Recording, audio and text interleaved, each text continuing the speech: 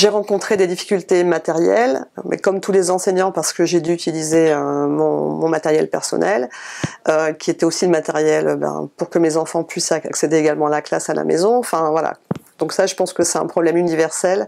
C'est euh, le, bon fonctionnement du matériel et, le débit aussi. Je, n'ai pas pu faire de classe euh, virtuelle parce que mon, débit internet était trop trop défaillant. Pendant cette période de confinement, les difficultés que nous avons rencontrées, je dis nous parce que mes élèves et moi, euh, sont de deux ordres.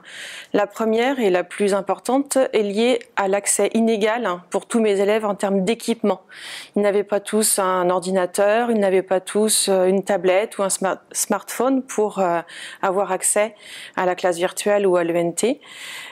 Ou alors ils avaient un ordinateur, mais un pour toute la famille. Donc l'ordinateur devait être partagé entre euh, bah, tous les enfants de la fratrie ou aussi avec les parents qui devaient s'en servir pour le télétravail. Donc il a fallu trouver une organisation par rapport à ce partage de l'équipement ou l'équipement insuffisant.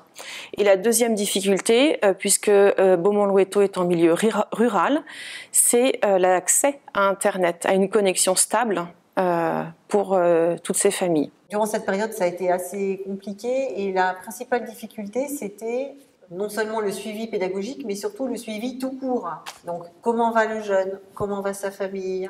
Euh, Est-ce qu'il a un moyen de se connecter? Euh, Certains élèves n'avaient aucune connexion. Alors, soit parce qu'ils n'avaient pas d'ordinateur à la maison, soit qu'il n'y avait pas euh, de connexion Internet dans le village. la plupart des élèves travaillaient avec leur téléphone portable. Voilà, ça, il faut le savoir.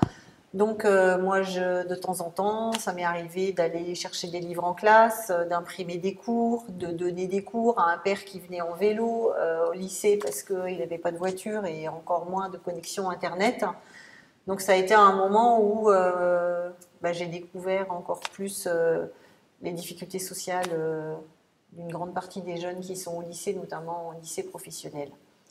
Donc pendant cette période, les conseillers principaux d'éducation, les CPE, ont appelé tous les jours les familles. Ils ont repéré les élèves qui ne se connectaient pas euh, via Pronote au cours, qui n'étaient pas là au cours, pour euh, connaître leurs difficultés. Donc quand il s'agissait de problèmes de code Pronote parents, j'appelais l'administrateur réseau pour qu'il puisse résoudre les problèmes de connexion. Et parfois, bah, c'était des problèmes beaucoup plus importants, des familles non joignables, et des élèves qui n'avaient absolument rien pour suivre les cours. Pendant cette période, euh, j'ai utilisé mon matériel numérique personnel. J'ai fait l'acquisition d'une webcam. J'ai fait réparer mon ordinateur qui a été euh, très sollicité pour tout le travail numérique produit. Donc c'est vrai que ça aurait été appréciable d'avoir des aides, qu'on se soit fourni, enfin que tout ce matériel-là soit fourni, qu'on puisse travailler alors pendant cette période et puis même maintenant qu'on puisse bénéficier de, d'outils euh, numériques performants et qui nous permettent de créer euh, des vidéos, qui nous permettent euh, d'interagir, enfin de communiquer avec les élèves, donc la webcam pour tout le temps. Et puis dans les familles, ça a été un petit peu les mêmes besoins. Ils se sont équipés, donc on travaille dans un milieu social très mixte, donc on a des familles qui sont avec des difficultés et puis des familles qui sont beaucoup plus à l'aise.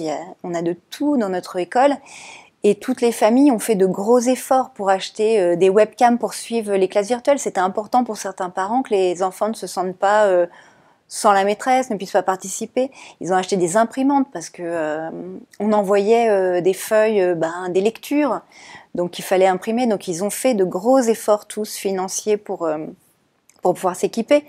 Il y a deux seules familles dans ma classe qui n'avaient qu'un seul smartphone, donc ça a été compliqué. Même si on pouvait faire nos petites applications, c'était difficile. Et puis de travailler toujours sur le téléphone euh, de maman ou papa, c'est compliqué. Donc ce sont des enfants, on se rend compte que quand on met un QR code en bas de la trace écrite, ça peut être difficile encore aujourd'hui pour eux ben, d'y accéder. Donc euh, on se rend compte, euh, et le confinement l'a vraiment soulevé, ces familles-là n'ont pas d'équipement et c'est compliqué pour eux d'être dans l'ère du numérique avec l'école. Ah.